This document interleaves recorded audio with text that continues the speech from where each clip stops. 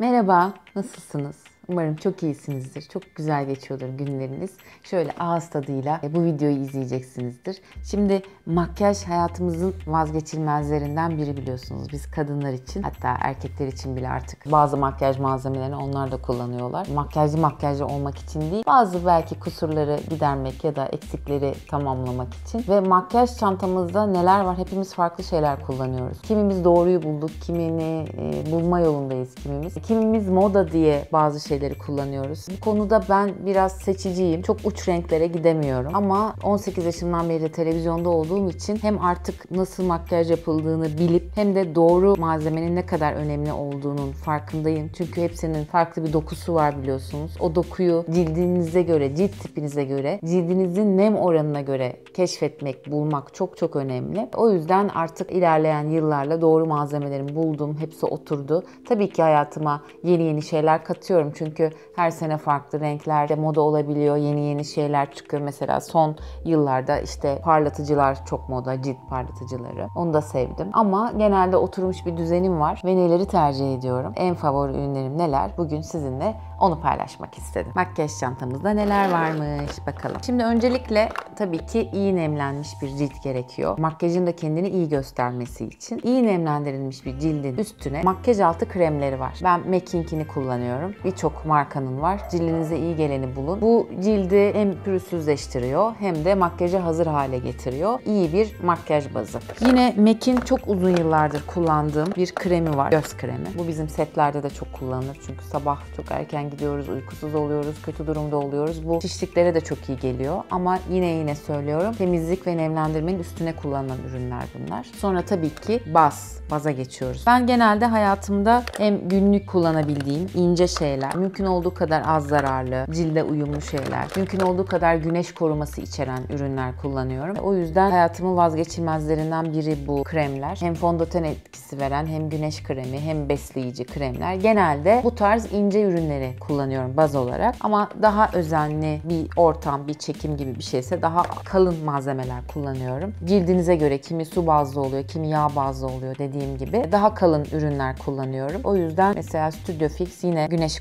koruması var hepsinde. Bunları kullanıyorum. Kimimiz elle, kimimiz süngerle, kimimiz fırçayla bunları kullanıyor. Ben genelde elle kullanıyorum. Ama şöyle de ürünler var ki bitmek üzeredir çünkü bakınız o kadar çok kullanıyorum ki rezil bir durumda yenisini almam lazım. Pata krem dediğimiz şeyler bunlar muhteşem ürünler. Hem kapatıcı hem iyi yedirdiğiniz zaman doğal da durabiliyor. Hem de çok da rahatsız etmiyor açıkçası. Bunları da çok seviyorum. Sonra allık mevzusu var. Hep iki çeşit allık, iki renk allık. İşte şeftali tonu ve pembe tonları her zaman yanımda oluyor. Bunların krem şeklinde olanları da çok kullanışlı ama genelde profesyonel makyajda toz kullanılıyor. Benim hayatıma da genelde toz giriyor. Eğer makyaj çantamı yanımda taşıyorsam ama günlük kullanım için daha çok krem şeklinde olanları yanıma alıyorum. Çünkü onları başka başka şeylerde de kullanıyorum. Farlar tabii ki. Toprak tonları mutlaka yanımda oluyor. Çünkü doğal görünen şeyleri seviyorum. Doğal gölgeleri, doğal geçişleri seviyorum. Çok uzun yıllar önce bir makyözüm bana böyle bir ürün kullanmıştı. Şöyle renk bir far yani fil dişi gibi bir şey, sedefli gibi bir şey. Bunları alıp böyle hatta şu göz pınarlarına dokundurduğunuzda çok tatlı bir ışıltı ve etki veriyor ve enerji veriyor. Çok sevmiştim bu duyguyu. O yüzden hep bu tarz bir şey barındırıp şu göz pınarlarımı bunu sürüyorum. Belki siz de seversiniz. Denemediyseniz deneyin. Tabii ki gözaltı kapatıcıları hayatımızın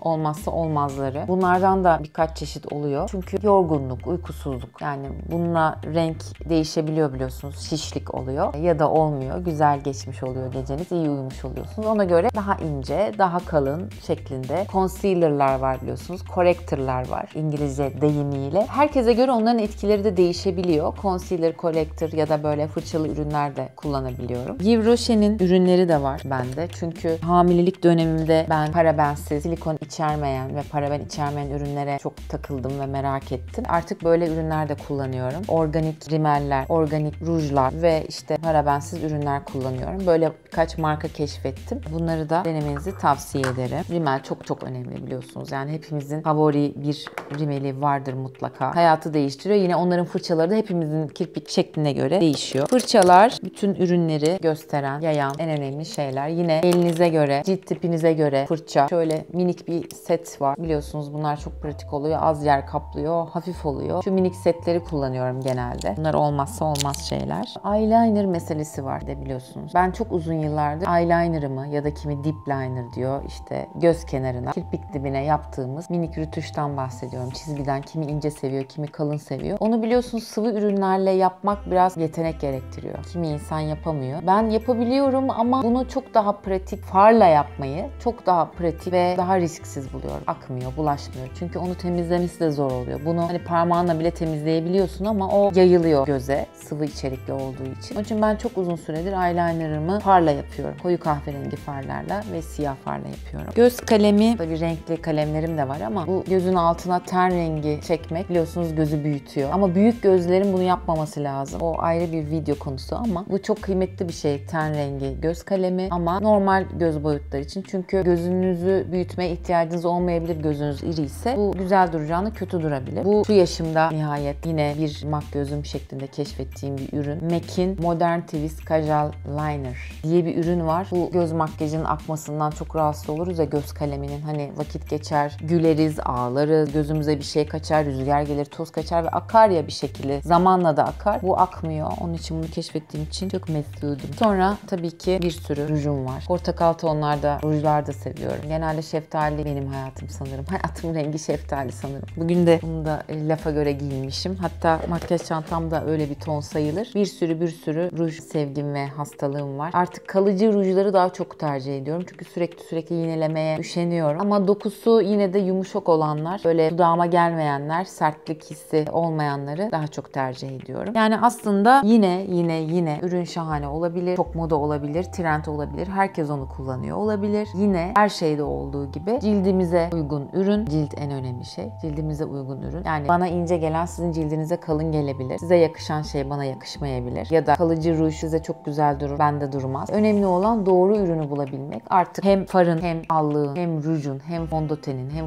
pudranın çok çok çeşidi var. Kremi, tozu, sıvısı. Ona göre kendi kullanım mesela hızlı mı yapmak istiyorsun? Uzun mu vaktin var? Elin yatkın mı değil mi? Cildin yatkın mı değil mi? Buna göre mutlaka öncesinde gidip zaten orada bize yardımcı olan bir sürü arkadaşlar var. Hem cilt tipinize göre hem bilek yeteneğinize ve gücünüze göre, mevsime göre, vaktinize göre değişen şeyler bunlar. En çok kullandığım ürünler bunlar genelde. Şu yana da bazı şeyler koydum. İşte böyle ışıltılı şeyler. Bu yana ışıltılı veren şeyler. Yine güneş korumalı, daha ince fondötenler tercih ediyorum. En çok kullandığım ürünler bunlar. Çoğunu çoğu zaman kullanmıyorum bile ama her zaman bulunması gereken ürünler. Kendimiz bile her gün aynı ciltle kalkmıyoruz. Kimi gün bugün cildim kuru diyoruz. Kimi gün yağlanmış ya dün gece ne yedim ki acaba çok mu çekirdek yedim falan diyoruz. Onun için böyle çeşitli dokuda şeyler barındırmakta iyi oluyor, faydalı oluyor. Efendim bu video ile ben de size faydalı olabildiysem ne mutlu bana. Başka bir videoda görüşmek üzere. Çok teşekkür ediyorum izlediğiniz için. Eleştirilerinizi, sorularınızı bekliyorum. Sizin de benden talepleriniz doğrultusunda yeni videolar çekmeye hazırım. Her türlü yoruma da açığım. Okuyorum hepsini elimden geldiği kadar da cevap vermeye çalışıyorum. Abone olun. Yeni videolarımızdan haberdar olun. Bekliyorum görüşlerinizi. Hoşçakalın.